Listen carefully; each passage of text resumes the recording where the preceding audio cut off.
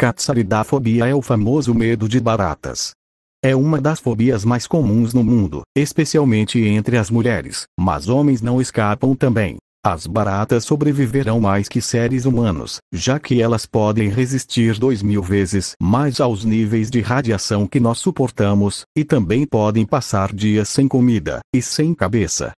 Tais fatos não vão ser encorajadores para as pessoas que sofrem de fobia de barata. Muitas pessoas se sentem desconfortáveis ou com medo na presença de insetos e bichos como as baratas. Baratas são conhecidas por habitar lugares escuros e quentes que têm abundância de alimentos. Muitas vezes, durante a noite ou na ausência de luzes, elas acidentalmente engatinham sobre a nossa pele. Isso pode evocar medo profundo ou resposta de repulsa.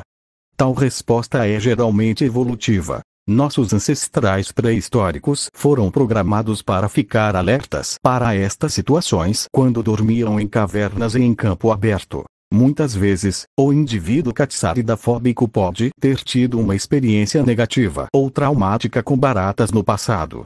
Crianças podem ter sido punidas ou trancadas em armários ou espaços escuros, onde tais criaturas tendem a se esconder.